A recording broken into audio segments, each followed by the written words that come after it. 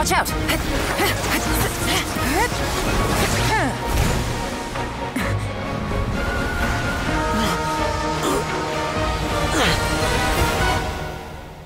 This trip may be dangerous, yet you insist on going.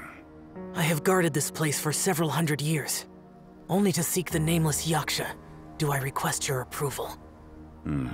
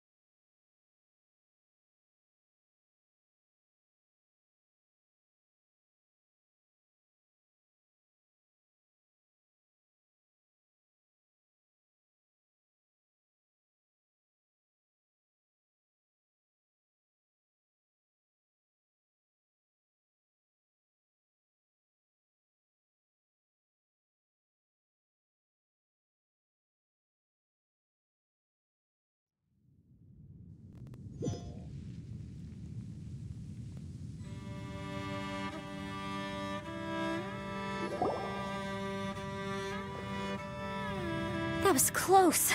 I thought you were gonna get left behind. I'm so glad you're okay. That was terrifying.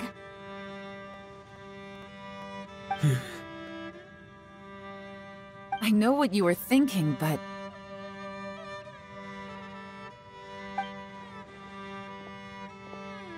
Never mind. I know I can't talk you out of a mindset that's been built up over a lifetime.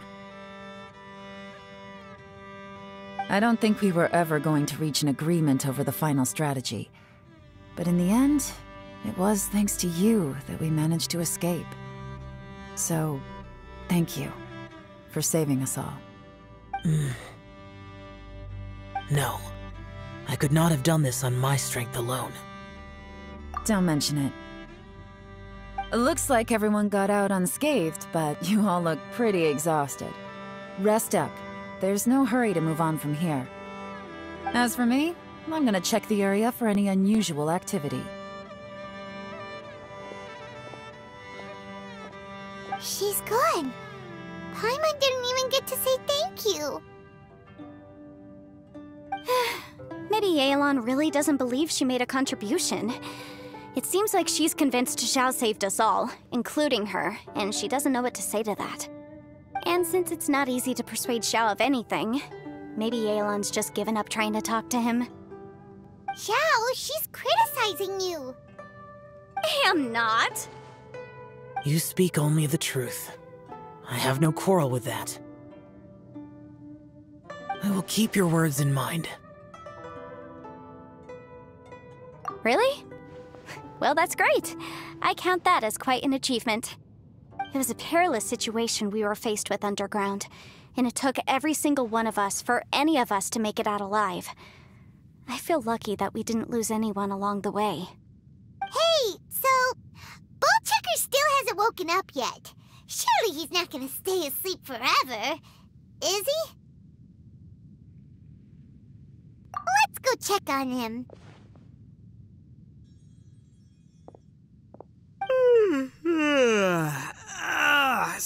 Like a rock. Ugh, good times. Huh? Uh, what you doing? What's going on? Why are you looking at me like that? Are you in any pain? Mm-hmm. Mm-hmm. The head? What about it? Is there any brain damage from the impact? You need to tell us if you're not feeling well. You bright to begin with, so if we add brain damage to the equation... Oh, brother. What the heck are you guys talking about? I'm fine. I had an epic power nap, and now I feel like a million Mora. Huh. I feel like I'm forgetting something, though.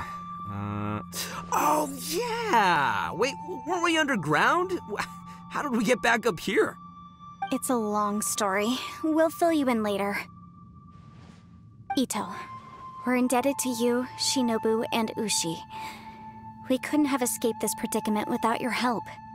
I'm the reason you all got caught up in this. Please accept my apologies, and let me find some way to compensate you for the trouble.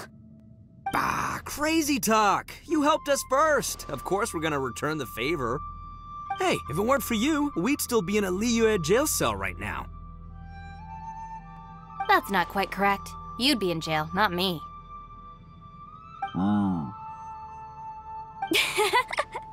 Good point. Well, okay then. How about this? To celebrate our newfound friendships, how about you let me take you to Liyue Harbor for some sightseeing and a proper meal?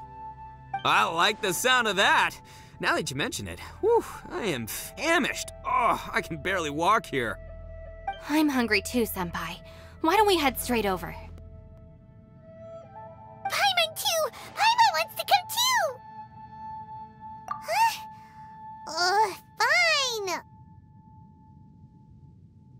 Right, well, I promise I'll take good care of your friends from Inazuma. Take it easy, okay? What we just went through was a lot.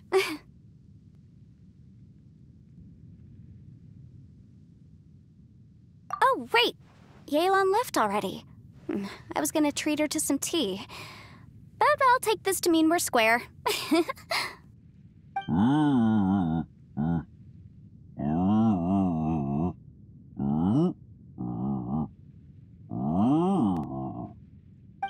Hmm? Oh, yeah? Is that right? Wow. Okay, I'll let him know.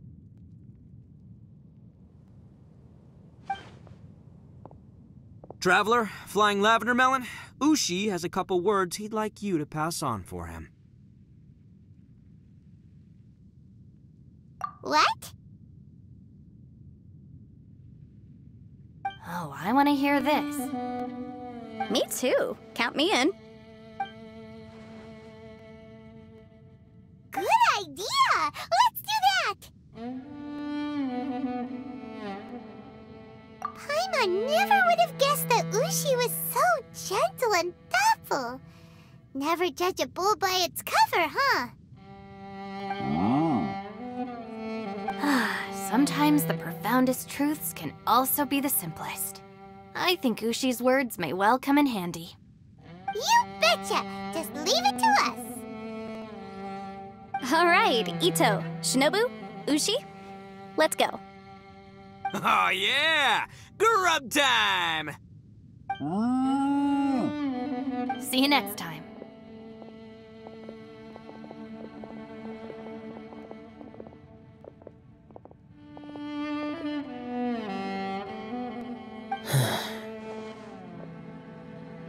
Finished taking care of business? Oh, there wasn't any business. We were just saying goodbye to our friends. You're still here. I saw the two Inazumans leave with Yanfei, heading towards Liyue Harbor. Aren't you going with them? We still had some stuff we wanted to say to Xiao. Hmm, I figured as much. I've checked the area. Nothing strikes me as out of the ordinary. Looks like this chapter has come to a close. Now, I just need to take care of the confidentiality issues. Let's hope our friends from overseas can keep their mouths shut. For their own sakes. Uh, we got it. We got it. We'll make sure they don't say anything. Please don't hurt them. Oh. You figured me out, huh? All right, I'll quit pulling your leg. Everyone really rose to the occasion this time. I won't ever forget what we went through. Where could that strange space have come from? And how has it existed down there undetected for so many years? I have to investigate this further. I have a feeling that whatever lies behind all this runs deep. Maybe so deep that no one can be allowed to know. Also, I think someone helped us out at the last minute. They did a good deed, of course, but somehow I couldn't tell anything about them.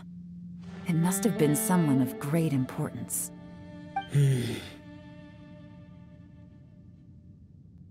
Anyway, these questions will have to wait for another time. I have some follow-up work to do and reports to make. So it's back to Liyue Harbor for me. See you when I see you.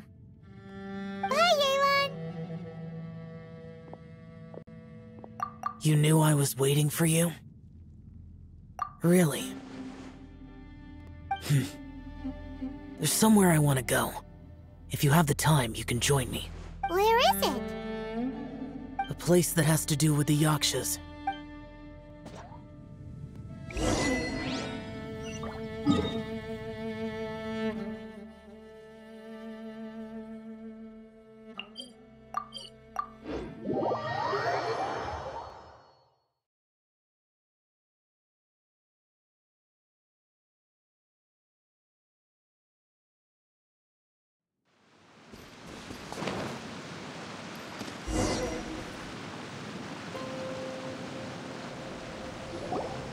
The temple up ahead was built to remember Pervases. Maybe I came here because I had a realization. You mean back when we were underground? It's hard to put into words. Seeing Bosacius gave me the false impression that I'd traveled back into the past. You could dress up the Yaksha's life and call us valiant warriors, veterans of war. But the truth is, we are slaughterers and nothing more. For Bosacius, perhaps dying in the heat of a great battle was no tragedy. And perhaps the same is true for me. After living so long, to die in the act of saving others would not have been a terrible thing. Hmm. So maybe... These thoughts are my own form of insanity. Hey, don't say that. Oh, yeah! Ushi wanted us to tell you. It's very important. Hmm? Ushi said he has the power to exorcise demons, so people use him to fend them off. But after he met Itto, he's never left his side. He also said that he doesn't have any grand philosophies. He just thinks we should spend our lives around the people who make us happiest. Maybe there aren't so many rules about how we should or shouldn't live our lives in this world after all.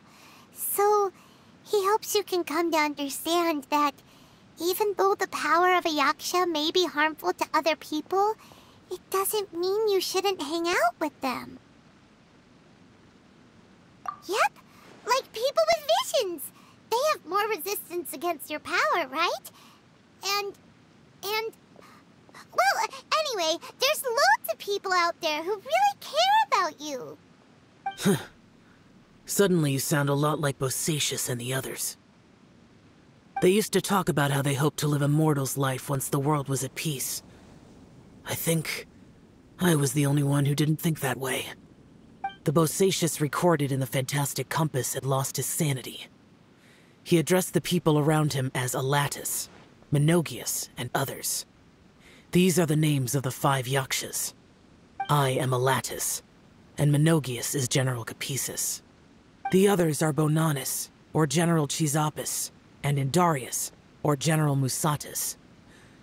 I heard that people call the five of us Yakshas, the Guardian Adepti. Bosacius and Yelan's ancestors stayed underground to the end. So that space must have read their minds in their last moments as they approached death. Yelan was right in everything she said. Both of our proposals had their drawbacks, and both were sensible suggestions. But the power of that space was far beyond all of us. I couldn't have done all I did without everyone's help. Even in the final moments. It took every bit of my power to break free from that place. Well, Paimon still thinks you were amazing.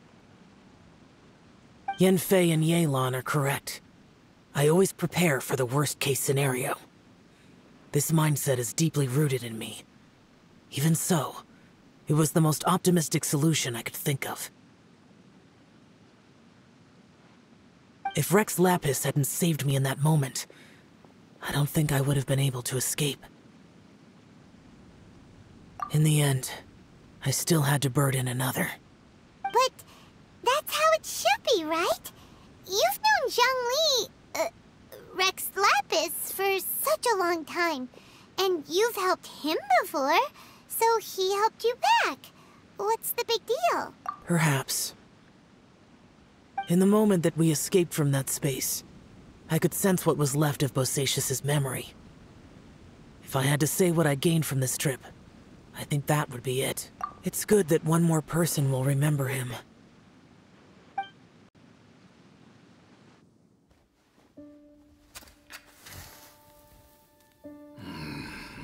Menogias, where have you been? Brother Yaksha, you're confused again. I've told you countless times, I am Boyang, the thaumaturge who fought with you in the chasm. Boyang? Boyang? You are Boyang, but who am I? Believe me, I want to know as much as you do.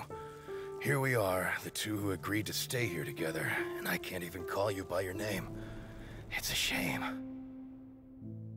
Stay here? No. No, you have to leave.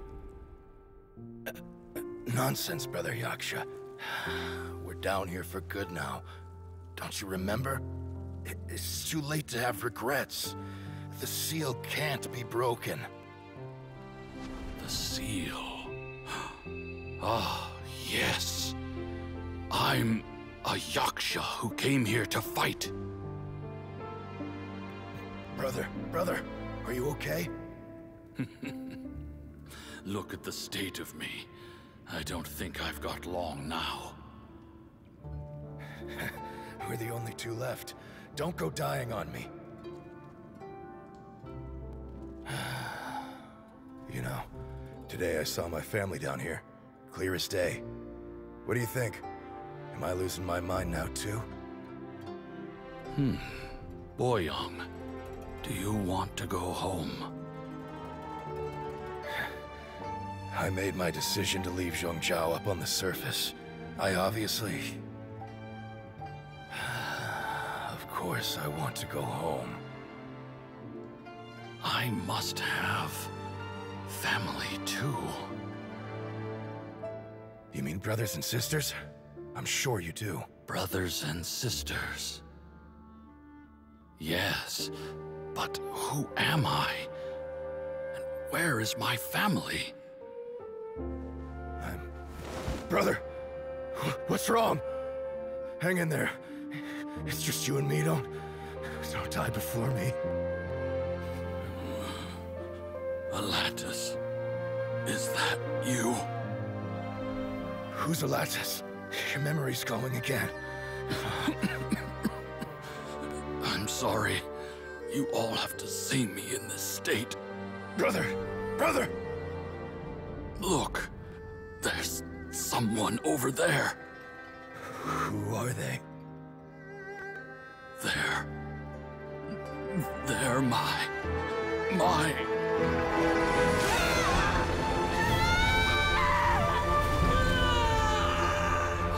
Remember now. I know you.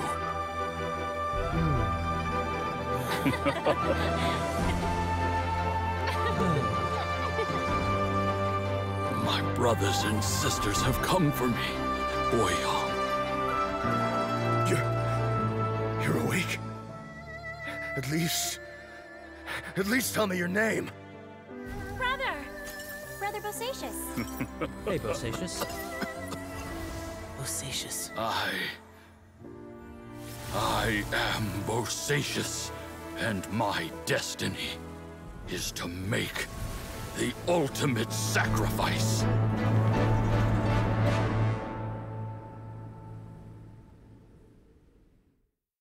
I've said so much today, but I don't need to hold back as much when I talk to you. Have you ever had a moment where you felt like you were aware of your destiny? The potential of life? The approach of death? Whatever it might have been. By now, I have accepted that destiny is the one disaster that the Yaksha know most keenly of all.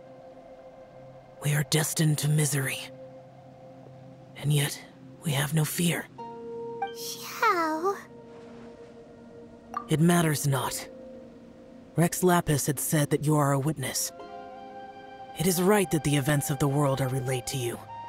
Bonanus, Menogias, and Indarias all perished, and only Bosacius's fate was unknown. This has always stung my heart like a thorn. That is why I went to the chasm, despite being fully aware of the danger. Now that I know what happened in the chasm back then, I can finally put this matter to rest. Before we left that place, I picked up a stone. I thought if I could take it out with me, I would place it in the temple to Pervases in memory of Bosacius. Unfortunately, the stone did not survive. Pervases died in the Archon War thousands of years ago. He was younger than us. And Bosacius was very sad when he passed. Too many Yakshas have become casualties of battle. We are like a flock of birds, scattered to the four corners of the world. And in the end, as Bonanus said, it's rare for a Yaksha to find repose for their soul. Bosacius, Boyang, and all those soldiers. Heroes. I like that word. Maybe the world will never be free of disaster. But there is good in the world, too. Even the darkest hearts have room for those they cherish. I accept your advice. From this day on, heroes will always look out for each other.